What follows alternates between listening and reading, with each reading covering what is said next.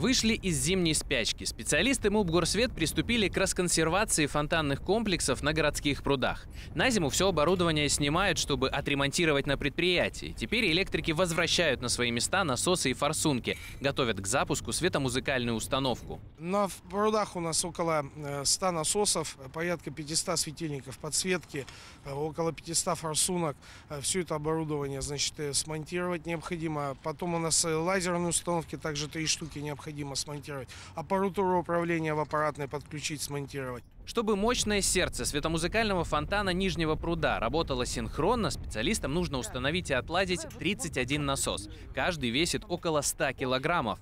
Раньше приходилось э, носить насосы вручную, то есть больше привлекать количество людей, соответственно, затягивалось время монтажа, приходилось на, приступать к монтажу намного раньше.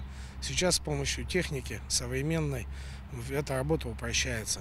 Гидравлические помпы германского производства рассчитаны на 10 лет службы и уже отработали половину этого срока. Чтобы сберечь ценное оборудование, энергетикам приходится упаковывать каждый насос в специальный кожух. Закрываем, ставим с двух сторон сетку, чтобы не попадал, в насос не попадал всякий мусор. Ну, там, ветки всякие и прочий мусор, пакеты, которые кидают. Около 50 тысяч кубометров воды и чуть больше 10 дней необходимо, чтобы наполнить водой городские пруды. В 20-х числах апреля специалисты МУП «Горсвет» приступят к испытаниям оборудования в рабочем режиме. Окончательно фонтанный комплекс запустят 1 мая. Дмитрий Павленко, Наталья Чернышова, Дмитрий Папуша, Хабаровск. События.